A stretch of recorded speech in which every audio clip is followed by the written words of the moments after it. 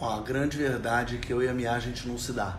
A gente não se gosta. Isso é, é, é ator, gente. É, é, é, filme, é personagem. A Mia, é, um, rouba. Dois, mau caráter. Eu sou casado, cara.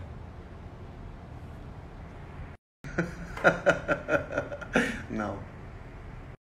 Eu amava fazer tudo pela audiência. Imagina, era divertido demais. Eu e o Tasmania, que era a Tatá, a pessoa mais criativa que melhor improvisa do mundo. Era muito divertido. Aliás, será que não valia na Globo? Não, não é preconceito, é inveja, é ódio, é raiva, é vontade de arrancar e botar no lugar do meu. Muita vontade, muita saudade e em março volta a gravar. Turu, tu, tu, tu, tu, Isso é tipo uma dança da motinho? Sim.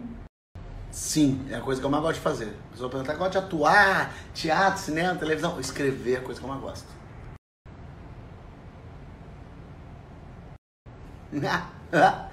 Oi, eu sou o Olaf e eu gosto de abraço quentinho.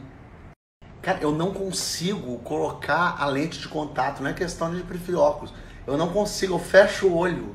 Eu tive que botar lente de contato, eu consegui botar uma vez só, uma hora em cada olho pra conseguir botar. Juro, juro, juro. Eu tenho ódio, eu não, não gosto. Ô louco, bicho! É agora, ao vivo. 10h40, ele que é filho do seu Fábio. Eu não sei, eu não sei imitar, não tem como. Valendo! Tudo combina com pizza. Tudo combina com pizza.